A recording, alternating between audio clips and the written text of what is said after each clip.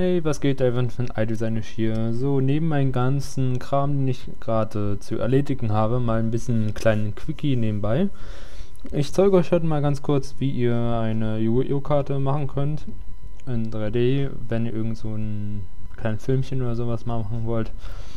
Deshalb schwafeln wir nicht lang rum, sondern fangen wir an. Ihr macht euch erstmal einen Würfel.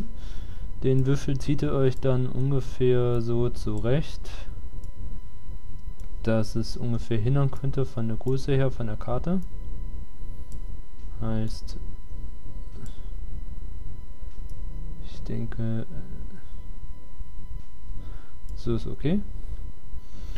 Dann drücken wir mal C, damit wir Polygone auswählen können.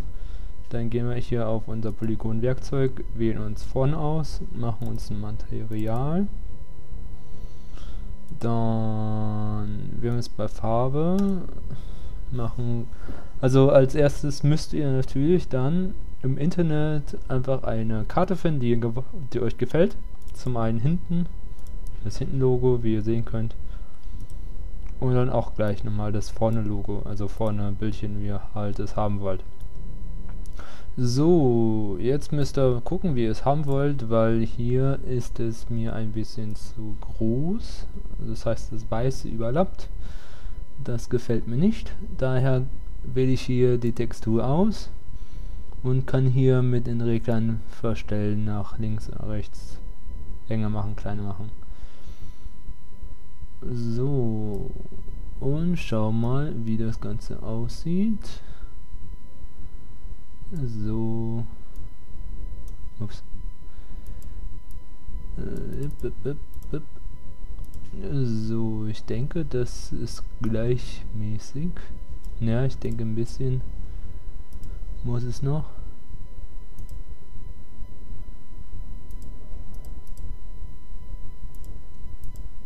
So. Na. Ah, ja, ja. Dann müssen wir hier noch ein bisschen spielen. Aber ihr kriegt die Idee. Prinzipiell, ja, näher weiß sollte nicht sein. Aber gut, ihr kriegt die Idee, Mist, das ist der Vorzeigeffekt, dass es nicht so schnell geht. Eigentlich wollte ich das schneller machen. Äh, na. Na. Dip, dip, dip. So, ich denke, das ist okay. Und jetzt oben. Weil im ehrlichste sein, wenn wir das gleich ausstellen hier, ups, na, wenn wir das gleich ausstellen, sieht es eh keiner, weil wir gucken nur uns die Vorderfronts an. Aber trotzdem, um euch das zu zeigen. Und jetzt hier die Seite für oben.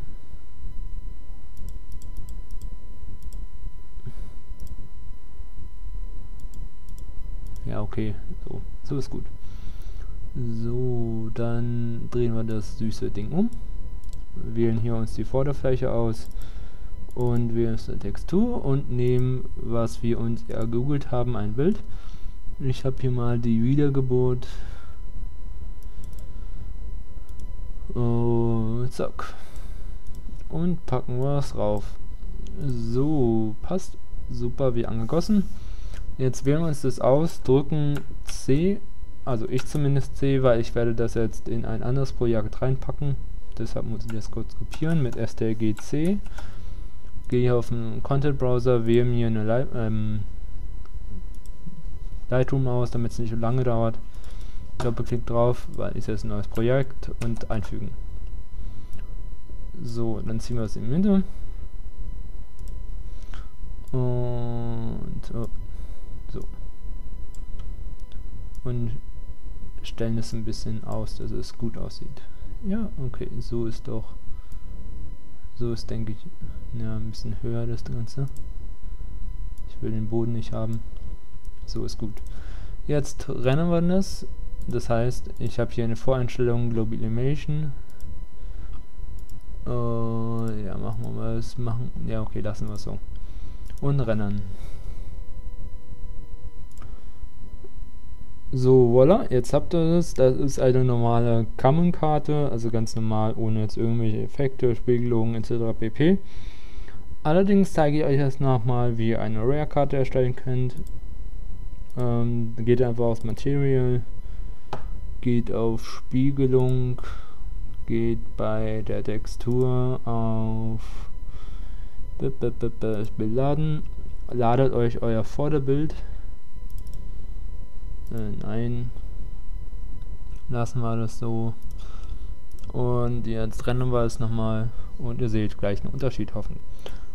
Und wie ihr sehen könnt, leuchtet das. Ähm, ich habe es jetzt noch ein bisschen andere Mehreffekte, aber könnt ihr lassen, wie ihr wollt.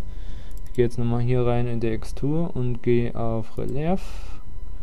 Relief, Bild laden, wieder mein, meine Wiedergeburt rein und mache das Ding mal auf, sagen wir mal 40. Yep. Und rennen wir. Weil dann hat es diesen leichten Karteneffekt halt. Wie, es beim Blatt Papier ist oder nicht Papier, aber wie eine Karte halt. Nicht so plastisch wirkt. Auf jeden Fall ganz super. Wie ihr sehen könnt, hier habt ihr den Effekt. So, jetzt allerdings wollen wir noch was machen. Und zwar, wir gehen jetzt nochmal in die Textur rein, auf Glanzlicht, auf Metall. Damit wird es dunkler. Und ihr seht gleich, es schimmert gleich besser. Warten wir ein bisschen. Und dauert jetzt ein bisschen länger, aber jetzt haben wir es. Jetzt, wie ihr sehen könnt, ist es halt dieser typische Rare-Effekt, den ihr habt. Also es leuchtet halt kein Licht direkt drauf, deshalb hat es keinen Effekt, aber halt diesen normalen dunklen Schimmer-Effekt, den ihr auch habt, wenn ihr einen Booster in der Karte kauft. Das können wir jetzt mal kurz testen, wenn wir uns ein Licht erstellen. Das Licht aber mal so provisorisch hier mal so hin. Ja, ich denke, das genügt. Und rennen. Und wie ihr sehen könnt, haben wir hier, wo das Licht ist, ist ein bisschen heller und ein bisschen leuchtender. Sehr cool, das könnt ihr dann benutzen, beispielsweise als 3D-Animation, wenn ihr beispielsweise irgend so einen Fanfilm machen wollt, upsala, oder irgendwas anderes. Und diese ganze neue Gedöns mit diesen kräuseligen Glitter-Effekt finde ich ganz schön schwul und deswegen habe ich keinen Bock, das zu machen und euch zu zeigen. Ist auch ein bisschen anders.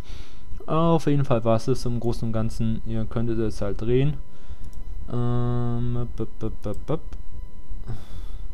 Wo haben wir es? Ja, ich will das Ganze aus. Ja, drehen wir mal. Seht ihr halt die Karte. Das könnt ihr unten hinten natürlich auch noch ein bisschen verändern, wie ihr wollt. Denn momentan gibt es da hinten keinen Effekt, bis auf eventuell Glanzlicht, was halt standardmäßig drin ist. Habt ihr halt wie normal Karte. Und ansonsten würde ich sagen, war es das. Wenn es euch gefallen hat, gebt einen Daumen hoch. Und ansonsten würde ich sagen, haut rein. Ach, eine Sache noch. Um das noch ein bisschen perfekt zu machen, könnt ihr natürlich, weil wenn ihr euch das Ding jetzt anschaut, von oben, äh, ist es grau hier. Das muss nicht sein, weil das ist bei einer Karte nicht. Wählt einfach eure Ränder an, wählt eine Textur und macht das Vieh weiß. Äh, weiß und dann dreht, upsala.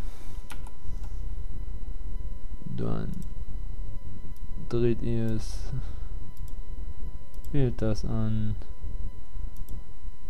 pack da weiß drauf. Zeig das nochmal. Pack da weiß drauf. Und ich glaube, müsste nochmal drehen. Ah, shit. Das war zu viel gedreht. Jetzt bin ich ein bisschen durcheinander. Äh, weil ich sehe das nicht, das Licht. Auf jeden Fall, na. Habt ihr das so dann schon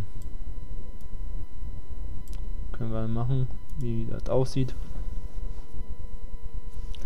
Rennen wir ein bisschen.